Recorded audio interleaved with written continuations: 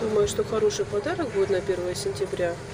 Цветок или дерево из бисера, или натурального камня. Приходите за покупками.